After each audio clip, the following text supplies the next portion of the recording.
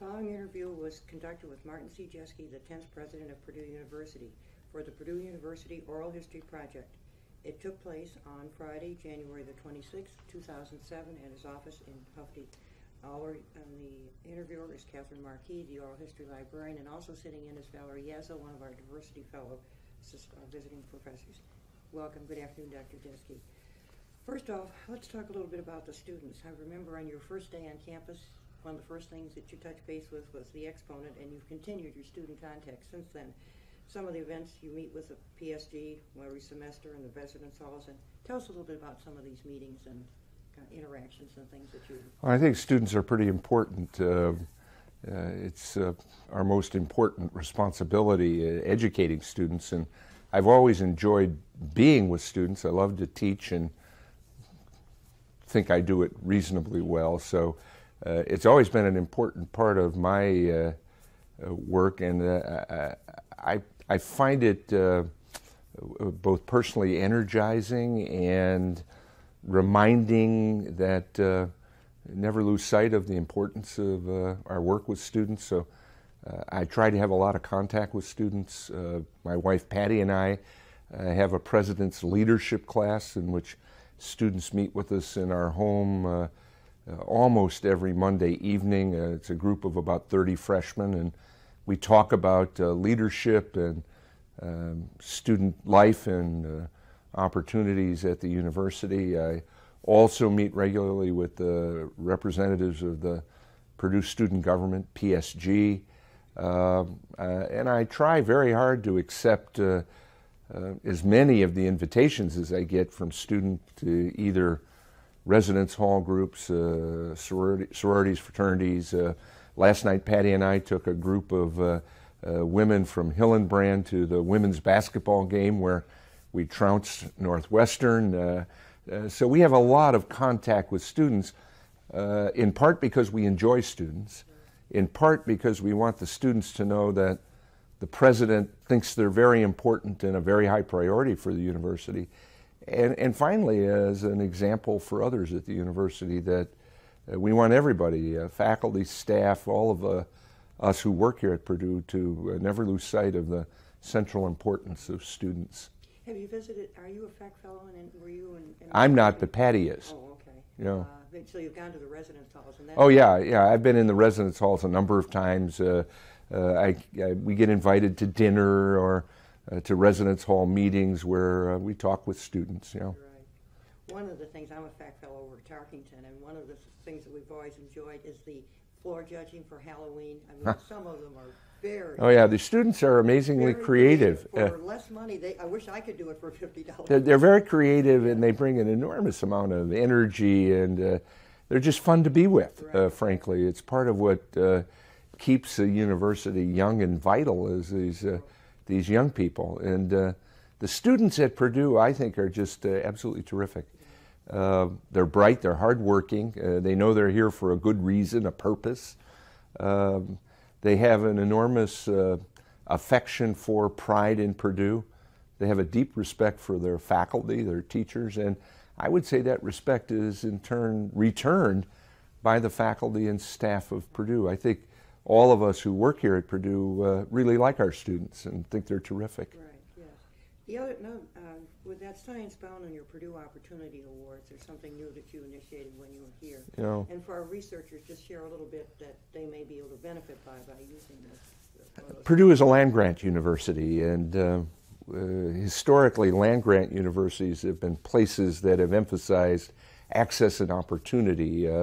Uh, we're part of the effort to democratize American higher education, and for literally uh, now 138 years, Purdue has been a place that's attracted lots of talented young people, often of very modest circumstances, uh, and given them a chance at a world class education that has been transformative for them. And we've been an important part of the development of the country, certainly the development of Indiana. And, and that idea of access and opportunity for talented students, many of whom don't come from very wealthy families or wealthy backgrounds, is a deeply rooted value of our university. Um, and it's an area that we have tried to renew, reemphasize, uh, pay attention to, particularly in this new time where the more complex higher education system in Indiana and across the country have differentiated the roles of institutions. Purdue is a great research university, tends to attract uh, pretty high ability students. We now in Indiana have regional campuses, a community college. So the menu of places, the number of different kinds of institutions that students can avail themselves of to pursue higher education is much, much larger than it was back in 1869 when Purdue was founded. There was really only one other public university, Indiana University at Bloomington, and a few private schools. Now we have a much, much larger, more differentiated system. But we still want to remain true to that idea of access and opportunity. And we've done a number of things uh, to try to make that happen. We've certainly worked hard to expand financial aid for students so that no student uh, is denied the opportunity to come to Purdue simply because of finances.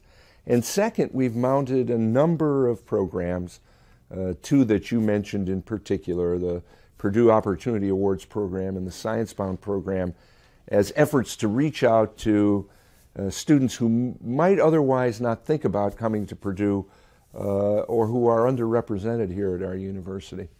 In the case of the Purdue Opportunity Awards program, uh, this was conceived as a program across the state where we would identify students uh, who are extremely needy, very high financial need, and second, have had uh, challenging young lives. Uh, they've lost parents, they've had serious illnesses, uh, tragedy in their lives, and frankly might not even think about coming to Purdue. And, and we try to find those students through their counselors, uh, through Purdue alumni, through community leaders, and offer them a full ride scholarship in their freshman year, financial aid in their sophomore year, so that they can get through those first two years uh, without much of their own resources, and then help them in the last two years complete that undergraduate degree. Uh, we get hundreds and hundreds of applicants. We have one award available in every county of Indiana, so there are 92 Purdue Opportunity Awards students in each class. Uh, uh, we've got our third class here right now, and next fall we'll bring the fourth class in, and it's been enormously rewarding. Uh, uh some of these young people are really heroic. Uh, they're they're quite uh, talented, but they have they've had to deal with some very very difficult circumstances, things like the loss of parents, abusive relationships. Uh, uh, pretty extreme poverty. Uh, a lot of first generation college students who, who, whose families have never had this experience before. And what's quite clear is that this Opportunity Award has changed their lives. Uh, it's brought them to the university, it's uh, showed them the talent they have and the fact that they can succeed at a great university like Purdue, and they're uh, overwhelmingly grateful. It's also had another interesting uh, effect. A lot of our alumni, uh, including in particular people who have donated to the university to help finance this Opportunity Awards program, feel a special bond with these students. Uh, Purdue has a lot of alums who were themselves in similar circumstances many years ago. First generation college students come from pretty modest economic circumstances. Um, coming to a great university like Purdue was a not only a great opportunity, but um, a bit intimidating. And I think a lot of our alums identify with these Opportunity Award winners. So they've been very generous. We've raised literally millions of dollars for the program. Do you have you had any feedback from the parents do, uh, of the students that have been selected in this? Do they? Oh, the parents are enormously grateful. Um, and they enjoy visiting the campus. They come. Well, yes. Although I would tell you, many of them, uh, not unlike the students, are are a bit intimidated by the size and scale of Purdue, uh, the splendor of all of it, and uh, eh, but but what really comes through is the is the enormous gratitude and pride they have. Gratitude to Purdue for providing this opportunity for their son or daughter, and this enormous pride and hope uh, for the future of this youngster. Uh, these kinds of opportunities are often transformational for a family. Um, these first generation college students, I can identify with that. I'm such a first generation person myself. Uh, I think for, for these families, this is the beginning of a whole new era, uh, a next level, if you will, for the family. Uh, because all the evidence is if, if you can get one generation of a family college educated, it's almost a certainty that all the subsequent generations will be. So, very powerful. A second program we've started is the Science Bound program uh, uh, in Indianapolis. It's a partnership with the Indianapolis Public Schools uh, to help us increase the number of youngsters from the IPS schools, the Indianapolis Public Schools, who come to Purdue to study areas like engineering, science, technology, math science education, and agriculture. Uh, one of the things that I noticed when I first came to Purdue is uh, we had relatively few students coming from the Indianapolis public schools. And because there's such a sizable minority population in Indianapolis, particularly in the public schools, it was one of the reasons we didn't have uh, nearly the representation of African Americans, Hispanic Americans, Native Americans in our student body. Uh, I happened to be at a Christmas party at the governor's uh, mansion uh, when Frank O'Bannon was governor, when one of our alums, uh, a, a, wonderful, wonderful fellow named Bob Bowen and his wife Terry were there, and we were talking about uh, this challenge of getting more minority youngsters to come to uh, Purdue. I mean, it gets back to this land grant mission and this idea of access and opportunity. And I told Bob that I had an idea for a program uh, called Science Bound that maybe we could talk about. And he and Terry came here to, uh, uh, to West Lafayette, and we had lunch in this very office. And I described to them this Science Bound program where we would identify youngsters at the end of the seventh grade uh, who, based on a recommendation from a teacher or a counselor, uh, had the potential of uh, being able to come to a university like Purdue. We would put them through a five year program, eighth grade and the four years of high school, um, extracurricular activities, summer camps, uh, mentoring, um, summer jobs, internships, uh, all designed to better prepare them for Purdue and to raise their aspirations to think about coming to Purdue. And the great incentive we would put in front of them is a full tuition scholarship. So if they participated in the Science Bound program for five years at a sufficiently high level, we typically expect them to participate in 75% of the activities over that five year period, um, and they're admitted to one of these programs here at Purdue, they would get a full tuition scholarship. Um, we have now had five classes in Science Bound. There are roughly 300 students in it.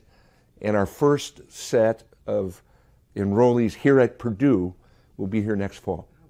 Oh, uh, and we have about 25 students coming, um, and it's been enormously rewarding. Uh, we've gotten terrific support from alumni and friends like the Bowens. They've been very generous in helping to fund the program, and from a number of corporations, not only in Indianapolis. Uh, Duke Realty, uh, Eli Lilly Incorporated, and others, but also from some national corporations like General Electric.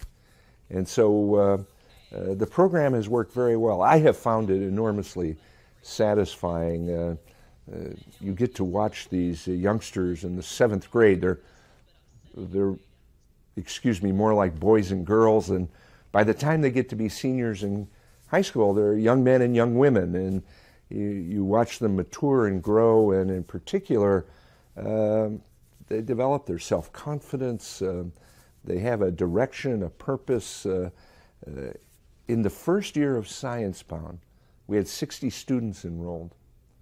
Every student had better grades in the first year of Science Bound than they had in the previous year in the seventh grade. So it's clear that this program, which is designed to lift their aspirations. Uh, part of the program is to help their parents better understand how these students need to get prepared. Has a real impact on their academic performance. It has a real impact on their aspirations. Uh, we think we've had a big impact on these students. And in addition to all of that, it's been a wonderful partnership for Purdue and the IPS schools. I think our university has a much better appreciation for the challenges of these large urban school districts. I think the people at IPS value this partnership with this great research university here in West Lafayette. It's been uh, tremendously satisfying uh, from quite a number of uh, perspectives. It, but another example of how we are trying to live out our land grant heritage in this new time. When Purdue was founded in 1869, Indiana was basically a rural state, and uh, there weren't big urban cities like we have in Indianapolis today, and it was a very different population. Um, uh, we're trying to adapt uh, in an appropriate and meaningful way to today's circumstances and uh, creating opportunities for needy kids all over the state through the Opportunity Awards program and uh, urban youngsters through, in this case, the Science Bound program. Very good. That's nice. It'll be interesting to see the first class count. They'll have to be around.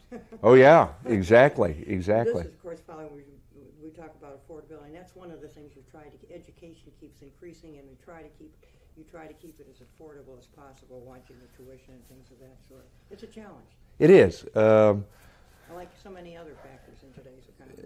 There are several factors at work in uh, at work and why tuition increases. First, the obvious inflation. Uh, prices go up, uh, and we have to keep up with that. Uh, second, uh, though, uh, one of the things we have had to live with in the time I've been president of Purdue is a rather difficult fiscal environment in Indiana, and it's been a difficult time for the state in financing higher education. In the six years, six and a half years I've been at Purdue, our state budget has just not grown at all.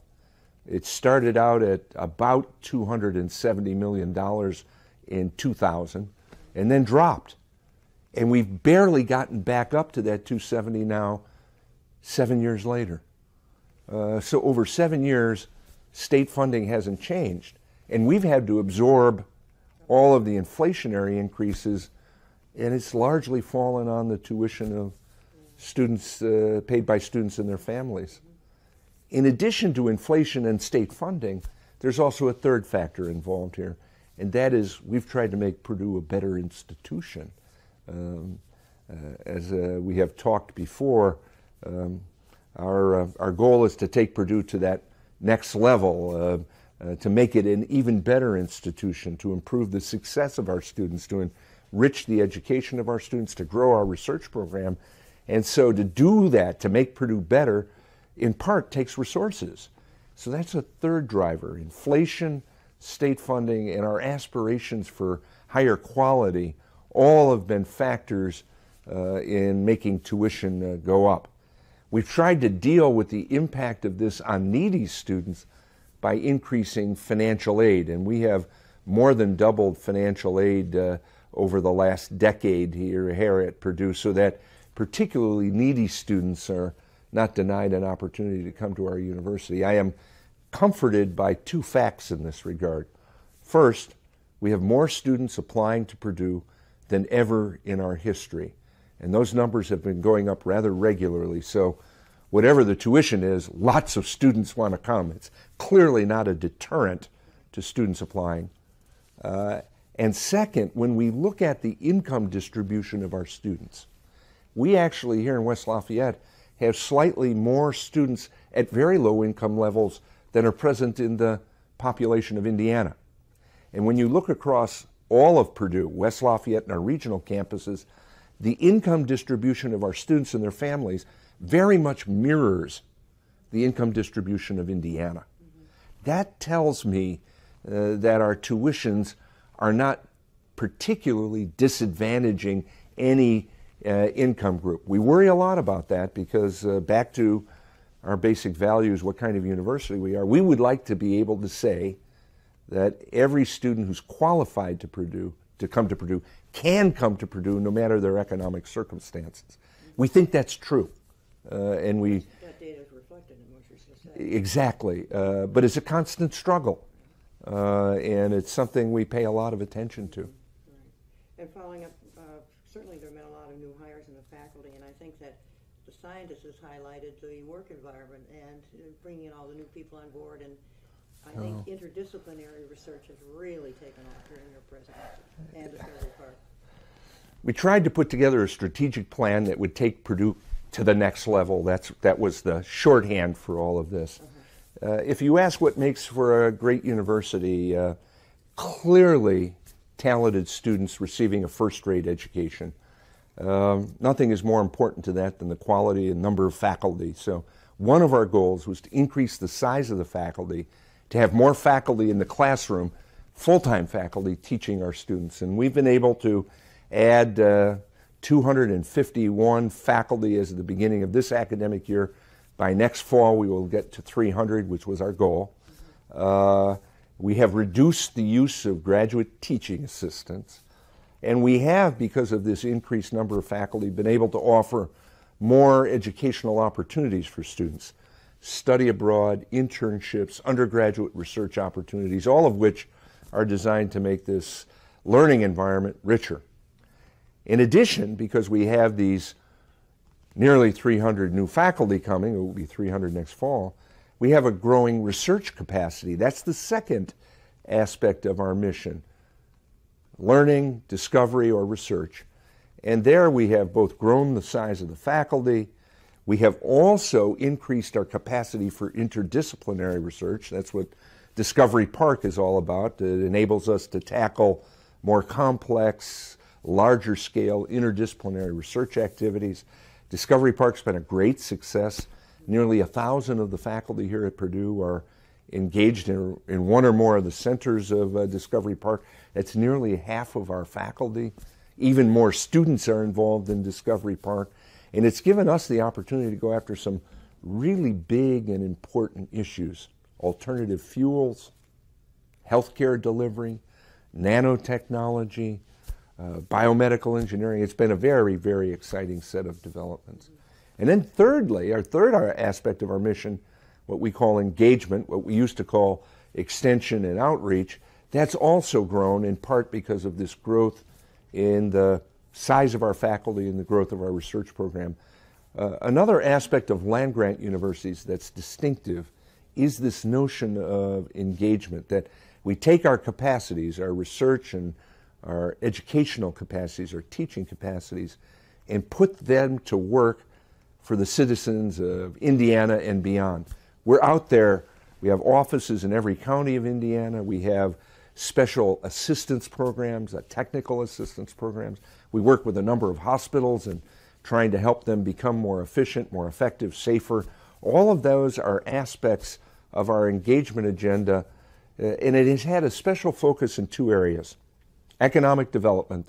We're trying to help the state of Indiana develop a more robust, more modern uh, economy. And second, in enhancing K 12 education. These are two big challenges for our state in which people want Purdue to be engaged. And we do it happily, willingly. We think it's both part of our mission and it makes us a better university.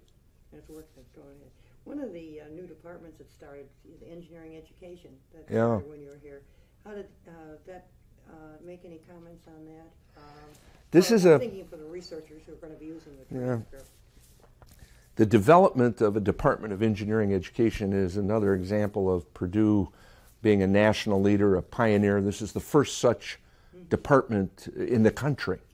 Um, and it's being developed for very, very fundamental and important reasons. First, uh, there's a real concern uh, that our country is not producing enough um, technically trained people, enough engineers. If you look at the trend lines in the number of students enrolling in, graduating from engineering programs in the United States, those numbers are trending down at a time where many other countries of the world, China, India, South Korea, Japan, are trending up. And there's a, a worry that uh, both for economic competitiveness reasons as well as national security reasons, this is not a good direction for our country. So, one question, uh, one issue is how do we increase the numbers of students both prepared for and interested uh, in engineering as a field of study? Uh, one answer to that is to do a better job in uh, grade schools and high schools, both preparing students in terms of the underlying mathematics and science courses, but also exposing them to, giving them some idea about what engineering is about, and we hope inspire and excite their interest, uh, and in that way both get more of them enrolled, but also help make sure they're better prepared. So that's one impulse to try to expand the number of students uh, studying engineering in the United States. And the second impulse is to increase the number who graduate, uh, and in particular to pay attention uh, to the relative underrepresentation of uh, women and minorities uh, in engineering. Um, engineering is a field where a fair number of the students who start out as freshmen in engineering transfer to other fields, and we're trying to better understand that uh, from the point of view of why do they leave? Is it their preparation? Uh, did they misunderstand what engineering was before they began studying it? Or does it have something to do with the way we present engineering? Are we presenting it in a way that's interesting to students? Are we presenting it in a way that connects their study of engineering to what they think the practice of engineering is? And finally, do we do it in a way that speaks to some of their broader interests? Uh, this gets back to interdisciplinary issues. Uh, uh, we know, for example, uh, that many of the women who drop out of engineering do so because they don't see the relationship of engineering to how it serves people, uh, how it serves uh, uh, human needs. And uh, I think one of the things we want to do in engineering education is better understand how to teach students in a more inspired way and to try to frankly help them learn engineering uh, more readily. We think there's um, a lot of knowledge now in educational psychology and learning theories that we can apply in the engineering context to do a better job and thereby increase the retention rates within engineering. More students coming in, more students succeeding, and in some sense, more students getting a better education. That's what leads to this, this starting of the Department of Engineering Education, and uh, it's been amazingly well received nationally. Uh, we've gotten very significant donations to get the program going. We've got a surprising number of very, very talented people applying to the graduate program, quite a number of PhD students, master's students who I think ultimately themselves want to become engineering educators. Uh, talk a little bit about your visit. You visited all the colleges and the schools around the campus and interacted with the faculty and staff. Certainly the library, I was very pleased to.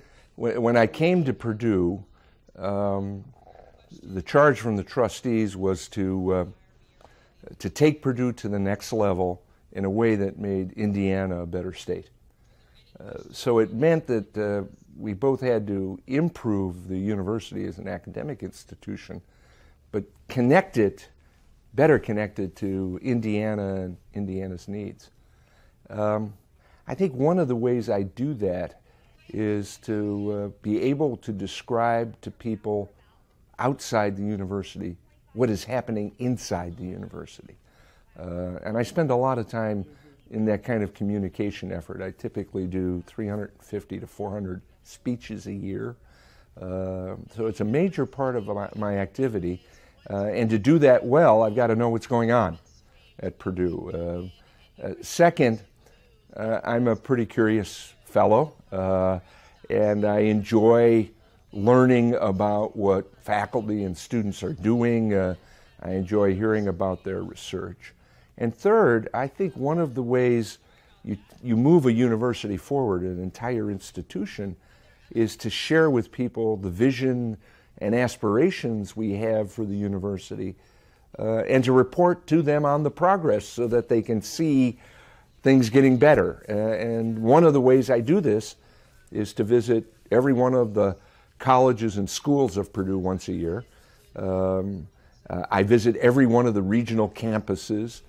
Uh, I have a radio show which allows for call in, so a lot of communication. And uh, my visits to the various colleges here at the West Lafayette campus, I, I always meet with the, lead, with the dean, uh, with the leadership team of the unit.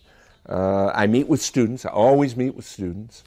Uh, and I have an open forum uh, and at the open forum, uh, it's about an hour. I take half of it to give a kind of progress report in the university, and then the rest of the time, questions, so that people have a chance to ask whatever is on their mind, to offer advice or comments or suggestions, and it's a, a way for me to both communicate what we're trying to do at the university and also to get some feedback and and to satisfy this curiosity I have. So uh, finally, I can go out around the state and tell people what's going on in engineering and technology and liberal arts and nursing and all the different disciplines we teach. And uh, uh, as I say, it's part of how I try to carry out my work. I enjoy it. It's very nice, yes. Another thing is, we're talking a little bit about athletics. You've been to all the bowls, and uh, you part, just said last night you were at one of the events. Yes. You really participate a lot in both you and your wife do. Uh, at first, I enjoy intercollegiate athletics, the uh, the athleticism, uh, the grace and beauty of these uh, uh, athletes, and the drama of the competition is uh, pretty exciting. I very much like intercollegiate athletics because it's still amateur athletics, and there's a certain uh, purity about it. Uh, and of course, these are students, youthful, uh, young people. I like it a lot, and I enjoy watching them. I enjoy cheering for the Boilermakers. Uh, and uh, we often use it as a way of connecting people to the university uh, or working with others, cultivating others, uh, showing interest in others. As I said last night, we were with a group of students from Hillenbrand at the women's basketball game. We always take uh, invite people to sit with us for the football games on campus. We go to the bowl games. I mean, we do a lot of those kinds of things. We're uh, big uh, football, basketball, volleyball fans. Uh, uh, we try to do as much of that as we can, although with 20 different sports, it's hard to show up at all the events and still carry out the president's responsibilities. Even the individuals can't go to all the sports. Oh, exactly, exactly. Yeah. Uh, I wanted to make one comment about uh, Purdue Intercollegiate Athletics. Very proud of the program. yes. Um, I think we're in a pretty tough conference, the Big Ten. Uh, I think uh, uh, Purdue's a pretty demanding and challenging university academically. So I, I really admire the student athletes of Purdue in their ability to both be successful athletes and quite good students. Uh, of all the statistics I know about Purdue Intercollegiate Athletics, the one that I am most pleased about is that now for 19 consecutive semesters, nine and a half years, the student athletes' grade point average, averaged across all nearly 500 student athletes, has always been higher than the student body. Uh, and it's been true every semester I have been at Purdue. I think that's an amazing statistic. And it says a lot about the quality of our student athletes as students and athletes. It says a lot about our coaches and the kind of student athletes they recruit says a lot about our athletic director, Morgan Burke, and the kind of coaches he brings to Purdue. I think it says something about the values of our university. We want to make sure that there's the proper perspective, if you will, balance in how we think about success in intercollegiate athletics. For us, success means not only success competitively on the field or court, but also success in the classroom. And I think we've done that very well here at Purdue. And many of them have gone on and been recruited to play in the pro. Yeah, but uh, even more graduate. Uh, very that that's the important measure. Uh, our just like the grade point average, the graduation rate of student athletes is higher than the graduation rate of the student body. That's interesting, yeah. We were talking about students earlier, but, yeah, international students. You went to that summit, that, uh, uh, interna- interna- international education. What was that, uh, what did you come away from? from. This was a summit that was held in Washington a little over a year ago, uh, hosted by uh, Secretary Spellings, Secretary of Education Margaret Spellings, Secretary of State Condoleezza Rice. Um, and it was uh, a, a summit in response to the growing concern that many of us had that the, uh, the United States understandable, indeed necessary efforts at tightening up immigration in the wake of September 11th, 2001, was beginning to discourage international students from coming to the United States. We and many other universities had witnessed a decline in the number of students applying to study here in the U.S. Um, uh, from other countries of the world, and fewer students coming to the U.S. to study. Uh, we made those uh, concerns known to the president, the vice president, uh, uh members of his cabinet, uh, members of the Congress. I testified to Senator Lugar when he was chairman of the Senate Foreign Relations Committee about this. And this summit was to respond to that concern and to express on behalf of the country, uh, as the president put it, that uh, we welcome students from around the world to our, our universities. Uh, we think this is an important part of, of creating a rich educational environment, and uh, we wanted know, these students to know that they were welcome here uh, in the United States. It was also uh, an opportunity for the President, the Secretary of State to emphasize uh, the importance of teaching uh, foreign languages, uh, particularly critical foreign languages that frankly we had relatively few students studying. languages like Pashtun, which is a major language of, of Afghanistan, Arabic, uh, other languages that uh, we didn't have very many people studying, uh, but languages that are absolutely vitally important to our national security, very, very important to our global trade. Uh, so it was also uh, a, a time where the President and the Secretary of State announced a major new initiative to enhance the study of foreign languages and so called area studies, where people study other areas of, of, the world. A great occasion, there were about 100 university presidents there. I was among them. In addition to the president, uh, Secretary Spelling, Secretary Rice, uh, we had uh, Mr. Negroponte, who is the direct, Director of National Intelligence. Uh, uh, the Secretary of Defense uh, was there. The First Lady spoke. the new Assistant Secretary for Public Diplomacy, Karen Hughes, a close associate of the President. So it was a pretty spectacular display of uh, the president's uh, leadership team, and I think uh, added all the more emphasis to how important they thought it was to sort of set the record straight that we really did want international students coming to the United States, uh, but they had to recognize that these uh, this more careful attention to uh, immigration visas was an understandable and necessary thing given the the war on terror. We you mentioned engagement, and I think that a couple of things that I read, the students have also been very much engaged, and they always yeah. have been. Like they're collecting the money for the TSAMI, and so they have really, really picked up on that. So uh, our students are uh, overwhelmingly a very generous and uh, caring group. Um, uh, be it the tsunami, uh, the hurricanes. 9/11, uh, they did. Yeah, 9/11. they they they care a lot about each other and the community and their fellow citizens. We've tried to encourage that kind of generous spirit, that sense of giving and volunteering and sharing, and to do it in a way that enhances the learning of our students. So we have focused a lot of attention on what we call student service learning, uh, service activities that enhance the learning of our students, not only of their disciplines, but some broader ideas about citizenship, about generosity, about volunteerism. Um, and our students have responded spectacularly. Uh, we now have a, a, special fund every year uh, in the Office of the Vice Provost for Engagement where students can apply for grants uh, up to $500 for an individual student, up to $1,500 for a group. And we have uh, hundreds of applications every year students working with uh, social service agencies, uh, uh, children with disabilities, uh, senior citizens. Uh, we had students to go down to Mississippi uh, for the in the aftermath of the hurricanes.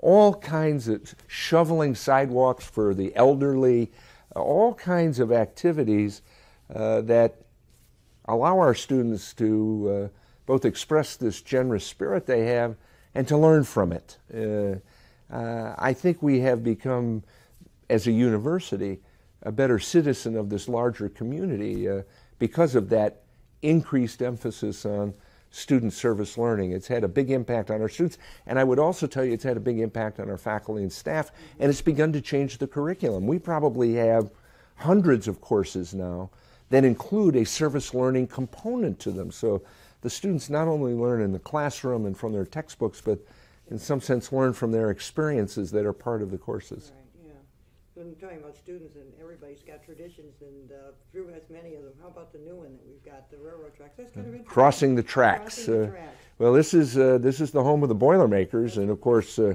that has its origins in the railroad uh, t- uh, railroads of uh, the United States, and uh, it's a way of reinforcing the sense of belonging, the sense of being part of this community. Uh, when freshmen come to us, we uh, we uh, encourage them to participate in our orientation program, Boiler Gold Rush, which is a wonderful program and very exciting. It's uh, I, I speak to the new freshmen every year, and it's uh, one time of the year I I think I have some sense of how rock stars feel because uh, these freshmen they're, they're they haven't started classes. It's a week before class.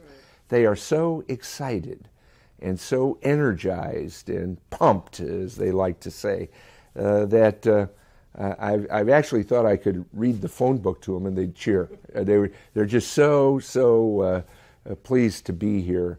Uh, part of becoming a Boilermaker is uh, getting wet in the fountains, and now a new part of uh, being a Boilermaker is crossing the tracks, uh, if you will, coming from the outside into our family by crossing over these nice tracks. addition. It is, and uh, nice. thanks to the Rusts, uh, we have this new tradition started this last year, and I'm sure it'll be part of uh, the many traditions uh, of Purdue. That they would go along with them.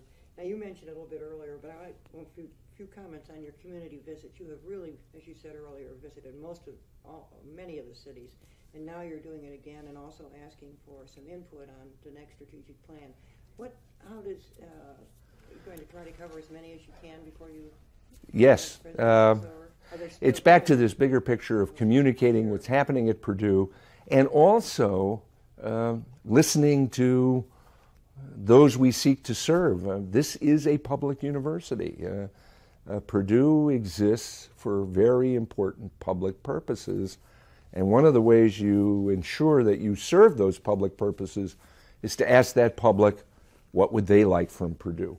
So I've been uh, all the time I've been at Purdue doing community visits. We probably have done 70 to 80 of them where I spend a whole day in a community. I typically visit some businesses. I'll visit a high school or a grade school, a middle school. I'll typically have a luncheon engagement with a civic group, a Chamber of Commerce or Rotary, uh, visit farms, uh, visit uh, social agencies, hospitals, and then in the evening I typically have some kind of alumni or fundraising kind of activity related to alums of uh, Purdue. Uh, yesterday, before I went to the basketball game with the students from Hillenbrand, I was in uh, Johnson County uh, and at Greenwood uh, visiting that community. I started out at a company started by one of our alums, Grimmer Schmidt. They make compressors. I went to the high school where I learned about service learning activities in the Greenwood High School at the high school level. Uh, then met with a group of community leaders, uh, mayors, uh, county commissioners, business leaders, talked about Purdue and what we had done and asked for their input and advice on what we might do next. Uh, what should the next strategic plan focus on? Uh, after that meeting, I uh, visited a dairy farm, uh, uh, the Kelsey Farm, and then uh, visited a company that makes bearings, Nachi, makes bearings for the automotive industry, and ended up with a reception for alums. A typical kind of visit designed fundamentally to give me an opportunity to share with the citizens of Indiana what we are doing at Purdue, hopefully to instill more pride in them and to let them know that uh, the very precious tax dollars that they give to us through our legislature and the governor are being wisely spent uh, and to let them know how we can be of help to them as citizens, as business leaders, as community leaders. And then, second, to learn from them what the needs of those individuals, communities, and businesses are so we can be more effective in serving them. And it's a two, and you've been very active also in the local community too. Oh, exactly. I think it's an. it- We're we're a public university. Uh, uh, the citizens of Indiana are, in some real sense, the shareholders of Purdue, and I just think it's very wise uh, to stay in touch with those people. And uh, uh, overwhelmingly, they are proud of Purdue. Overwhelmingly, they are grateful for what we're accomplishing. They often have good advice. I mean, uh, their comments are almost always positive, reinforcing, and I've gotten a lot of great ideas out of these visits. And I'm also curious, so I enjoy it. I mean, I get a chance to learn and, uh, ab- about new things and uh, meet new people. Uh, it's a fun part of my job. That's kind of, a challenge, and they welcome the opportunity. Oh, yeah, they love it. Yeah. Uh, many of these communities uh, are quite honored that the president of their land grant university would take time out to spend a day with them. So it's a big event for uh, a, a number of these communities, and it's a big event for me. As I say, I, I really enjoy it. Uh, uh, uh, every visit I have made, I have learned something. Every visit I have made, I have come back feeling better about Purdue. Uh, and every visit I have made has I want to jump ahead a little bit, and you noticed on the topics that I had submitted that some of the things for the research, uh, share some thoughts on some of the, uh, and I have a couple of items, so if you, we might talk a little bit about that, if that's okay. Sure. One was on the fundraising, and uh, I'll just go down, but people that will be studying, you know, using the, the, the transcript and, pres- and sort of share some thoughts is what I was asking. Um, when we came to Purdue, um, as I said, the charge was to take Purdue to the next level in a way that makes Indiana a better state. Uh, it was unmistakably clear to me it would take more money. It would take more financial resources. Uh, second, it was also clear to me that there was a huge opportunity in fundraising here at Purdue. We have nearly 400,000 alumni, um, uh, some enormously successful people. Overwhelmingly, the alums of Purdue love this university and are grateful to it. Um, and I thought there was a terrific opportunity to expand fundraising. And I didn't see how to accomplish all of the things we wanted to accomplish without the additional resources that could come from fundraising. So I knew actually before I started that we were going to have a capital campaign.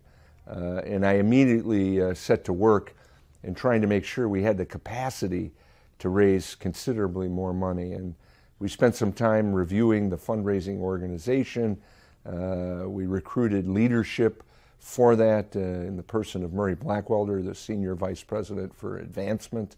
Um, we developed the strategic plan in part uh, with a mind toward it being a part of our fundraising effort. That is, you, you've got to have things for which you are fundraising, uh, projects, ideas, and we wanted to make sure that the people who were going to be solicited for funds um, understood how their donations were going to contribute to this larger effort at Purdue uh, to make Purdue a better university, to take it to the next level. Um, we kicked off the campaign uh, at a billion three.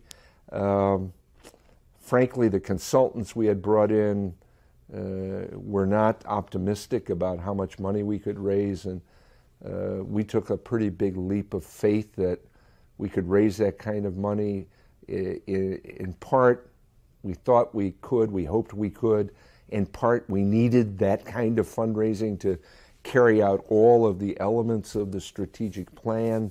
Um, and it just went fabulously well. Um, the Lilly Endowment was key. I think by the end of this campaign, they'll have contributed nearly $100 million to Purdue. We had some alums like Bill Bindley and Mike Birck step forward with record setting gifts. Uh, Mike and Kay Birck gave us $30 million. It paid for half the Nanotechnology Center, largest gift in the history of the university for a, for a facility. Bill Bindley committed $52.5 million in cash and deferred uh, gifts, the largest gift ever from an individual. Um, I think of the 20 largest gifts in the history of the university, 17 or 18 have been in this campaign. So uh, the alums of Purdue have stepped forward uh, uh, in amazing ways. Foundations like the Lilly Endowment, corporations, uh, Caterpillar, IBM, Boeing, Intel. I mean, just go down the list. Uh, very generous. Um, nearly 200,000 different donors have contributed to our campaign. And the faculty, staff, and retirees of Purdue have been amazingly generous. Uh, our initial goal, uh, we thought was pretty ambitious to raise $40 million from among the faculty, staff, and retirees. We blew through that and set a second goal of 50 million, and as we speak, we've raised over 55 million dollars from the faculty, staff, and retirees of Purdue. I mean, the people that know us best, who work here, are really reaching deep into their pockets uh, to help Purdue. It's a sign of their love and affection. It's a sign of their confidence. We've also raised $55 million from the greater Lafayette community. Just think of that $110 million from either the employees, former employees of Purdue, or the community members. It's absolutely astonishing.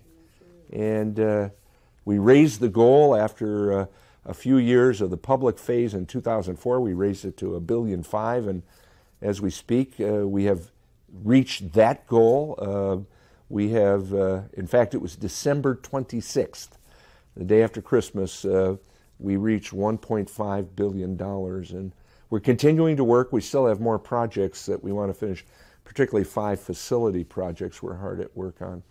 But it's been an amazing thing, uh, and I, as I reflect back on why have we had all of this success, I think there are lots of reasons, but I want to focus on a few important ones. Uh, first, Purdue has been a great university for a long time, and there are lots of people, lots of organizations that are both grateful to Purdue for what it has done and really, really want to help Purdue continue to grow and do more. Uh, so they're both expressing their gratitude, but also investing in the future. Uh, second, I think it's an enormous vote of confidence in the trustees and the leadership of the university and our faculty and staff. I mean, this is a pretty massive investment. And I think people don't make those kinds of investments unless they have a lot of confidence that the money will be used wisely and it will accomplish its intended purposes. Third, uh, we've got a fabulous group of people here at Purdue today uh, uh, professional fundraisers, uh, administrators, deans, provosts, vice presidents, faculty who have created this great team. Um, and we have worked very hard on this. Uh, there's an element of time on task when it comes to fundraising, and we have devoted the effort to it. Uh, we have been pretty sophisticated about our fundraising. We use pretty modern information techniques to find our donors. Uh, we work hard to prepare interesting proposals. Uh, we try to put on events that inspire people. Uh, I think we've become very good at this. And then the most important thing, we've delivered. Uh, people have given us these resources and we attract better students. People have given us these resources and we have recruited talented faculty. People give us these resources and we build a nanotechnology building, a bioscience building. And, I mean, we have actually uh, shown results, and all of that together has made this enormously successful. Makes me, frankly, pretty confident about Purdue and its future. I will say that it is my view that this kind of fundraising must be an integral part of the university going forward. Uh, our ambitions are very, very high. Uh, we really do want to be one of the preeminent universities of the world, and to do that, it's going to continue to take significant resources. And one element uh, of our plans to gain those resources is continued emphasis on private philanthropy. What about um, uh, management steward, stewardship of a large research university? The challenges that that presents. Well, it, they, they don't call our trustees trustees for uh, without good reason. Uh, this university is held in trust uh, by the trustees on behalf of the people of Indiana. And uh, every trust or every trustee has a fiduciary responsibility for to those for whom the trust is held. Uh, those of us who work at the university share in that trust, and uh, among our responsibilities is to assure that uh, Purdue will be able to continue to carry out its work at a very high level, that we will hand over the university to the next generation, the next set of leaders. We hope in better condition than we received it, and they in turn will do that to the next set. That this is always about getting better, always building a brick higher, if you will. That's part of the culture of Purdue that makes it such a great university. Um, there are challenges. Uh, uh, the world of uh, higher education, more broadly, the knowledge of the world, how we develop new insights, new ideas, new knowledge, changes. It's intensely competitive. Uh, we've got a huge physical plant here that we try to keep in good repair and safe condition. Uh, all of that takes resources. It's not easy to do, uh, certainly, but it's important and uh, absolutely at the heart of these responsibilities that first the trustees have formally, legally, but I think all of us share. Uh, uh Purdue is now in its 137th year, 138th year rather, uh, of existence, and um, it's always gotten better. And I don't think any of us want to uh, be, be, the first generation that loses that uh, that upward trajectory. I, I, think, I feel, uh, I believe that we have uh, we have done that in, uh, in certainly in the time I've been at Purdue. I feel very good about the progress that we have made as a university. it's very much a team effort. Lots of people have contributed, but I think by all the sensible measures you would use to judge whether the university is a better institution today. Who studies here, what they learn, who teaches here, what they discover, uh, how we serve the larger societal purposes we are uh, charged with. Uh, I think by all those kinds of measures, Purdue is a better university, and it certainly feels like a better university. There's more energy, more excitement, more optimism, and more confidence. Um, so I think we have done our our job in our time, and uh, I think we are um, handing over the leadership of Purdue to a new president uh, at a time when uh, Purdue is a great place to be at. Uh, I think this is a, a splendid presidency, a splendid university, and every reason to be very, very optimistic about the future. Do you have a favorite? Um, we have about three minutes left. Okay, thank you. Do you have a, a favorite uh, or outstanding event that you'd like to share with us, or a favorite memory, or anything like that? I have so many then, good memories. I ask that to people, and they have to stop and think of it. You know? um, I hardly ever have a bad day. Um, uh, almost all the things I do at Purdue, I enjoy doing. Uh, so I have lots of great memories. Every commencement is a joy. Uh, every boiler gold rush is a, a great rush for the president. Um, uh, we've had some spectacular announcements. The kickoff of the campaign, uh, announcing the Birck gift, the Bindley gift, those were exciting. And then there's been literally thousands of precious moments when a faculty member shares a new discovery or a, a student uh, says how grateful they are for the education they have received, or someone writes back and says, Way to go. I mean, it, it it's it's made uh, this whole time very very rewarding. And so there's no singular event. There's no moment where all of a sudden i said gee this is a pretty good job. It's always been like that. A cluster is better and it pulls it all together. Yeah, and it's consistent and it um, and and i believe uh, uh, i'm not the only one that feels that way. I think for many of us at Purdue, I think vast majority of us, this is a happy place to be and a happy time to be here. Uh, it's not to say it's easy or we don't have our challenges, and there aren't occasional moments where uh, it gets uh, downright tough and difficult. But overwhelmingly, this has been a good time. And as I say, a happy, and maybe a better word is a, an enormously rewarding time. I mean, for me, being president of Purdue has been this amazing combination of challenging. I've had to work hard and use all the talents I have had. Interesting. I've met amazing people. I've tackled interesting problems. Enormously rewarding. Uh, I feel very good about having served as president. And ultimately important.